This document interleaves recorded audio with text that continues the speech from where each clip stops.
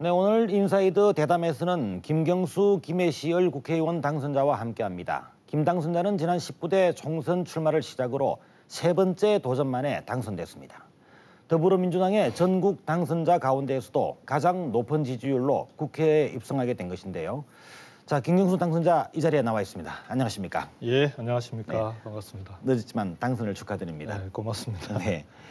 아, 이번 총선에서 62.4%죠. 네, 득표율을 네. 기록하셨는데 당내에서 가장 높은 득표율이라고 예, 들었습니다. 예. 감회가 여러 가지로 남다르실 것 같습니다. 먼저 경남도민들께 당선 소감부터 말씀을 좀 해주시죠. 우선 경남도민에 앞서 이제 저를 당선시켜 주신 김해 시민들께 먼저 감사를 드립니다. 더군다나 압도적인 지지로 당선을 시켜 주셨고요.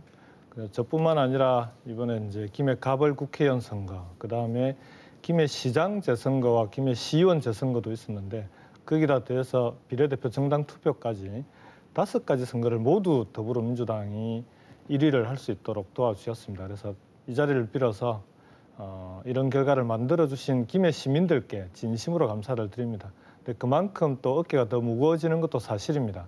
더 열심히 하라는 뜻으로 알고 우리 김해를 위해서 그리고 우리 경남 도민들을 위해서 어, 주신 뜻을 잘 실천하는 그런 국회의원이 되도록 노력하겠습니다. 고맙습니다. 네, 잘 들었습니다. 자, 우리 김경수 당선자라고 하면 고 노무현 전 대통령의 마지막 비서관이라는 타이틀이 늘 네. 따라붙었지 않습니까? 자랑스러울 수도 있고 한편으로는 대단히 부담 부담스러울 수도 있는 그런 타이틀인데요. 이제 이런 그 타이틀을 벗고 아, 정치인으로서 우뚝 서게 됐는데 그 정치인으로서 출사표를 던지게 된 이런 계기가 있다면 좀 어떤 계기인지 말씀해 주시겠습니까? 제가 노무현 대통령 마지막 비서관이란 타이틀은 제가 뭐 평생을 안고 가야 되는 그리고 제 스스로 가장 자랑스럽게 생각하는 이력입니다. 그렇지만 2012년도에 총선에 출마했을 때 선거에 출마한 정치인으로서 노무현 대통령 마지막 비서관으로서 선거를 치른 것은 지난번 19대 총선, 2012년 총선이 마지막이었던 것 같습니다. 지난번 총선에서 실패했던 이유도 김해 시민들은 노무현 대통령 마지막 비서관에 대해서 애틋한 생각은 있지만 마지막 비서관을 요구하는 것이 아니고 김해를 책임질 수 있는 사람 네네. 그리고 우리 김해 시민들의 삶을 맡길 수 있는 그런 정치인을 요구하는 것이 김해 시민들의 뜻이었던 것 같습니다. 그래서 지난 4년 동안 그 지난번 도지사 선거 그리고 도당위원장 활동을 하면서 우리 김해 시민들 그리고 경남도민들의 뜻에 맞도록 제 스스로 국회와 청와대 경력을 가지고 김해를 위해서 그리고 경남 도민들을 위해서 일할 수 있는 정치인 김경수로서 평가받고 선택받아야 되겠다라고 생각하고 준비를 해왔었습니다. 그 결과가 이번 총선 결과로 나타난 거 아닌가 그렇게 생각합니다. 네, 잘 알겠습니다. 뭐 이런 그 독자적인 활동 많이 기대를 하고요. 아, 어, 노무현 전 대통령의 서거 7주기가 이제 다가왔습니다. 네. 그래서 조금 전에 네, 말씀하셨던 내일입니다. 예. 것처럼 지금 마지막 비서관이라는 타이틀답게 저희가 이 부분을 여쭤보지 않을 수가 없을 것 네. 같은데 자, 그 재단에서 여러 가지 행사를 준비하고 계신 걸로 알고 있습니다. 예. 이번 7주기 행사 예. 어떤 것들을 준비하고 있는지 좀 말씀을 해주시죠. 음, 노무현 대통령 7주기가 이제 23일 내일입니다. 내일은 그 오후 2시에 공식 추도식이 예정이 돼 있고요. 그 다음에 5월 한달 동안 다양한 추도 행사가 전국적으로 펼쳐졌습니다. 네. 봉화 마을의 경우에는 지난 목요일 날 김재동 씨가 아, 토크 콘서트를 봉화 마을에서 했는데 그날 약 4, 5천 명 정도 평일 저녁인데도 불구하고 4, 5천 명의 많은 시민들이 함께 했다 그러고요.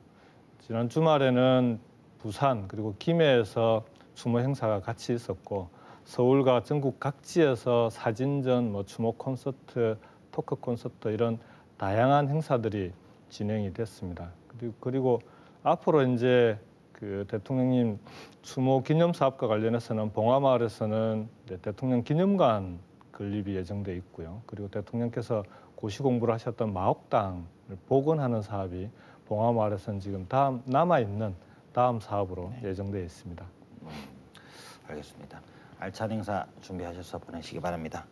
자, 그 우리 딱 김당선자 경우에는 노무현 고 노무현 전 대통령과 이제 말씀하신 것처럼 많은 시간을 네. 보내셨는데 지금까지 그 재미있는 일이 참 많이 있었다고 얘기를 들었습니다. 그 동안에 언론이나 또 이런 그 외부에 알려진 이야기 이외에 소개해 주실 만한 얘기 있다면 이 자리에 나오신 김에 좀 말씀을 한번 해 주시죠. 사실은 인터뷰나 이런 대담 프로 때마다 숨겨진 일화를 소개해달라는 요청들이 많은데요. 하도 많은 얘기들을 소개도 하고 그 다음에 이미 이제 대통령님과 관련된 분들이 많은 일화들을 소개해놔서 따로 숨겨진 일화 이렇게 말씀드리기보다는 네네. 이번 이제 총선 결과를 보면서 이제 든 생각이 대통령께서 2008년에 봉화로 내려오시지 않았습니까? 내려와서 이제 그 봉화마을 찾아오는 방문객들에게 왜 고향으로 기양했는지를 설명을 자주 하셨는데 뭐 지역 균형 발전도 이유가 있었고 그 다음에 어, 또이 퇴임한 대통령이 시골집에 내려와서 내 바로 이웃에 살고 있다. 그리고 언제든지 보고 싶으면 가서 볼 수 있는 위치에 있다라는 것만으로도 좀 우리나라의 좀 정치가 갖고 있는 근위주의를 타파하는 데 도움이 될 거다. 이런 말씀이 있으셨는데 그 중에 이제 공식적으로 말씀 안 하셨지만 가끔 가까운 분들한테는 내가 여기 내려와 있으면 그래도 부산 경남 지역에서 어렵게 정치하고 있는 친구들한테 조금이라도 도움이 되지 않겠냐. 대통령이 평생을 지역주의 극복을 위해서 노력해 오셨는데 살아생전에는 부산 경남 지역에서 지역주의가 극복된 모습을 못 보고 돌아가신 거 아닙니까? 그래서 이번 총선 결과를 보면서 대통령께서 계셨다면 누구보다도 기뻐하셨을 그런 결과 아닌가 싶습니다. 사실은 2008년에 내려오셨을 때 그해 6월 달에 지방선거 재선거가 있어 재보궐선거가 있었습니다. 그때 김해에서 도의원 재선거에서 서른 당시 38살이었던 명희진 도의원이 최연소로 네네. 당선이 됐는데 당선된 다음에 대통령께 와서 인사를 드리니까 누구보다 기뻐하시더라고요. 그래서 이제 그런 대통령 모습을 보면서 이번 총선 결과가 대통령께서 그토록 염원하던 지역주의 극복의 계기가 되고 앞으로도 좀 우리 정치가 지역주의를 넘어서는 정치가 되었으면 좋겠다 그렇게 생각합니다. 네. 잘 알겠습니다. 우리가 고 노무현 전 대통령 이야기는 이 정도로 마무리를 하고요. 네.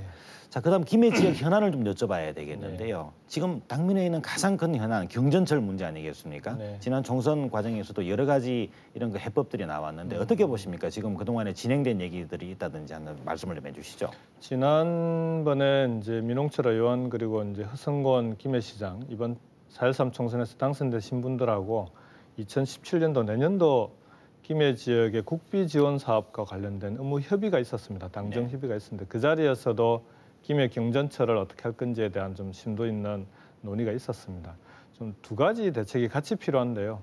일단은 단기 대책이 필요하고 그다음에 근본적인 중장기 대책이 같이 가져야 되는데 단기적으로는 뭐 30년간 1조 2천억을 김해시가 MRG로 부담을 해야 되는 그런 상황이기 때문에 이 문제를 조금이라도 줄일 수 있는 중앙정부의 행정적 지원이 가능하게 법이 개정됐으니까요. 그런 중앙정부의 지원과 함께 경전철 사업 자체를 사업 재구조화할 필요가 있습니다. 그러니까 건설비 7,880억 원이 민, 민자 민자 대출로 그렇죠. 네. 다 진행되지 않았습니까? 그걸 좀 일찍 갚을 수 있는 부분들은 좀 갚고 그 갚는 과정에서 정부의 지원을 좀 이끌어내야 되고요. 그렇게 해서 부담을 좀 줄이고 그 다음에 근본적으로는 중장기적으로는 경전철 운영 자체를 부산과 김해, 경남이 지자체가 직접 직영함으로써 효율, 효율화시켜야 매년 들어가고 있는 비용을 사실은 약 100억 이상 절감할 수 있는 그런 대책들이 있다라는 게 전문가들의 진단이거든요. 그렇게 네. 좀 단기 대책과 중장기 대책이 함께 가져야 된, 되지 않나 그렇게 생각합니다. 이걸 해결하기 위해서는 어떤 법률적인 그런 그 대책들 그래서 네. 관련된 입법들이 굉장히 중요할 것 같은데요. 음. 어떻게 보십니까? 당장 시급하게 해결해야 될 과제가 있다면. 지난 19대 국회에서 1차적으로는 어, 도시철도법을 민홍철 의원이 그 주도해서 개정을 했습니다. 근데 뭐 우리가 원하는 대로 그대로 개정된 건 아니지만 그래도 정부가 경전철의 적자를 해소할 수 있는 행정적 지원에 대해서는 지원할 수 있도록 네. 그렇게 법이 개정됐기 때문에 거기에 분명히 그렇게 적시되어 있습니다. 경제적 문제, 재정적 문제를 해결할 수 있는 행정적 지원이라고. 그래서 그런 지원, 정부 지원을 이끌어낼 수 있는 이제 실무적인 협의가 중요하고요. 더 근본적으로는 이 김해 경전철은 정부의 시범 사업으로 진행된 사업. 아닙니까? 그러면은 정부도 공동 책임이 있기 때문에 이런 공동 책임을 함께 진다는 의미에서 정부가 나서서 함께 지원할 수 있는 그런 대책이 그 나와야 된다 그렇게 생각합니다. 네. 잘 알겠습니다. 경제실 문제를 이 정도로 여쭤보고요. 네. 그다음 교육 문제를 좀 여쭤봐야 되겠는데요. 우리 당선자께서는 후보자 시절에 김해 지역의 교육 또 같이 교통 문제를 같이 여러 가지로 네, 언급을 네. 하신 적이 있었어요. 그 특히나 이 두 가지 문제에 고민을 많이 하고 계신 것 같은데 우선 교육 문제부터 어떻게 풀어 나갈 것인지 좀 말씀을 해주시죠. 진단부터 먼저 해주셔야 될 것 같은데요. 네. 김해 뭐 교육 문제는 선거 과정에서 정말 많이 말씀을 드렸는데 크게 두 가지 문제가 있습니다. 하나는 장유 특- 유라 지역의 초등학교 과대 감일 문제가 있습니다. 수남 초등학교 경우에는 1학년이 14학급입니다. 전국에서 아마 14학급인 초등학교 거의 유래를 네. 찾기가 어려울 텐데요. 그런데도 불구하고 교육부에서는 새로운 학교를 만드는 걸 불허한 상황입니다. 그래서 이 과대 감일 학급으로 인해- 인해서 아이들이 수업 환경이 아무래도 나빠질 수밖에 없거든요. 급식을 하더라도 오래 기다려야 되고 그런 상황이 되지 않겠습니까? 그래서 이 초등학교 과대 감일 문제를 해결하기 위해서는 저는 새로운 학교가 필요하다고 봅니다. 지금은 교육부가 새로운 학교를 불허했기 때문에 오히려 이제는 학부모와 지역 사회가 함께 나서서 좀 교육의 다양성도 확보하는 차원에서 도시형 대안학교, 대안형 혁신학교를 교육 경남교육청과 함께 네. 학부모들이 나서서 김해 새롭게 만드는 장유 지역에 새롭게 만들어서 이 과대 감일 문제를 해소해 나가는 그 외 다른 다양한 대책이 같이 가져야 될 것 같고요. 두 번째 과제가 고등학교 문제입니다.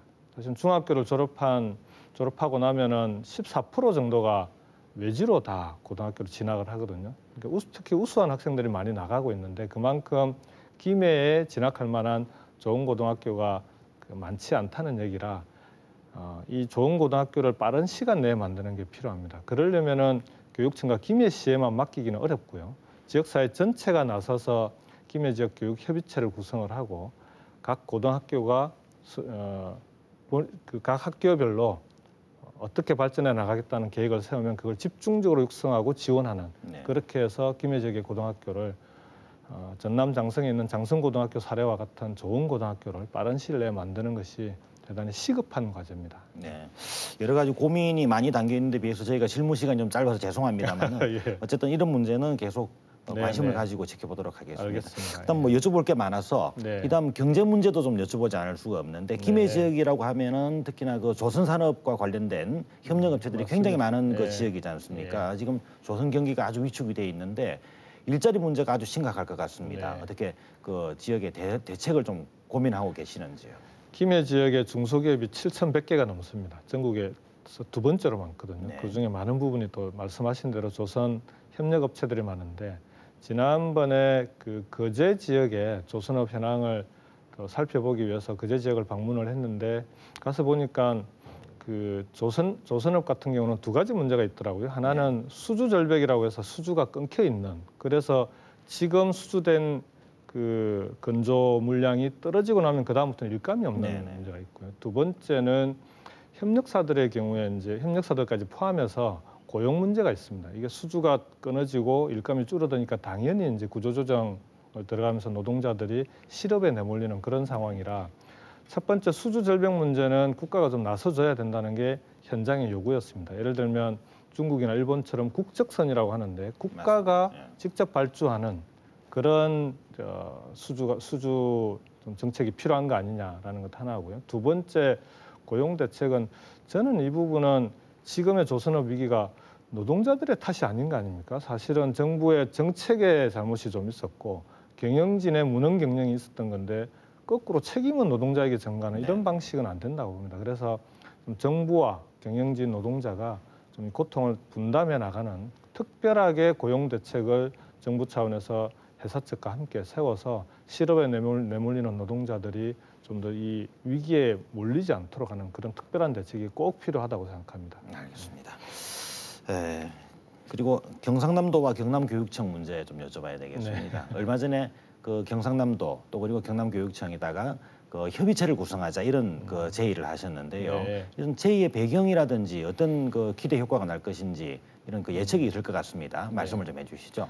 우선은 뭐 협의체 구성 이전에 업무 협의를 먼저 제안을 했습니다. 네. 지금 시기가 이제 각 지자체에서 중앙 부처에 내년도 예산과 관련돼서 예산 지원 그 예산 지원을 뭐 계획을 올리고 중앙 부처에서 6월이 되면 기재부에 내년도 사업 계획을 올리는 그런 시기거든요. 그래서 지금 시기가 사실은 각 지자체별로 내년도 국비 확보를 위해서 대단히 중요한 네. 시기입니다. 그래서 이 민생 문제는 저는 민생에 여야가 있을 수 없다고 봅니다. 그래서 경남도 그리고 각 지역별로 필요한 민생 현안들에 대해서는 여야를 떠나서 업무 협의를 통해서 내년도 국비 지원 사업에 대한 예산 협의를 통해서 함께 협력하고 함께 지역 발전을 위해서 노력하는 그런 자세가 꼭 필요하다고 보고요. 그런 차원에서 경남도에 업무 협의를 요청했습니다. 그래서 이게 업무 협의가 일회성으로 끝나는 게 아니라 앞으로 정기적으로 진행될 수 있는 그런